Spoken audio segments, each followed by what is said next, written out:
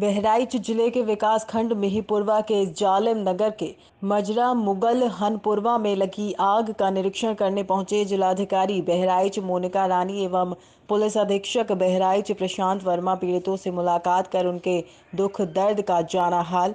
जल्द से जल्द या मदद का भरोसा। पीड़ितों से हालचाल के दौरान जिलाधिकारी बहराइच के साथ पुलिस अधीक्षक बहराइच प्रशांत वर्मा, उप जिलाधिकारी मिहीपुरवा, संजय कुमार क्षेत्र अधिकारी मिहीपुरवा, राहुल पांडे, खंड विकास अधिकारी अजीत कुमार सिंह एवं अन्य अधिकारी व कर्मचारी मौजूद रहे।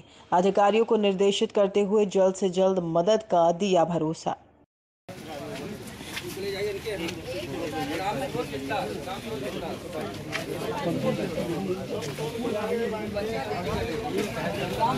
इसका पूरा सर्वे हो गया है। पूरा धनराशि मिल जाएगी आपको।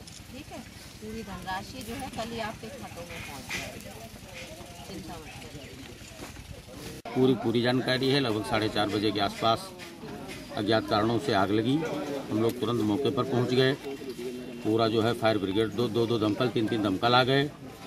स्थानीय पुलिस प्रशासन का बहुत ही ज़्यादा सहयोग रहा और हमारे एसडीएम महोदय और खंड विकास अधिकारी महोदय पूरी अपनी टीम के साथ पूरी रात लगे रहे एक बजे के आसपास गए और पाँच बजे लोग आ गए। रात में भी हम लोगों ने खाना बनवाया डोर टू डोर भिजवाया। अग्नि पीड़ितों के लिए क्या क्या व्यवस्थाएँ की जा रही हैं आपके द्वारा? के लिए तिरपाल बांटे जा रहे हैं बिस्कुट बांटे जा रहे हैं मोमबत्ती और माचिस बांटी जा रही है और शाम तक जितना भी संभव जो कुछ भी हो डोर टू डोर खाना भिजवा भिजवाने की व्यवस्था की जा रही है।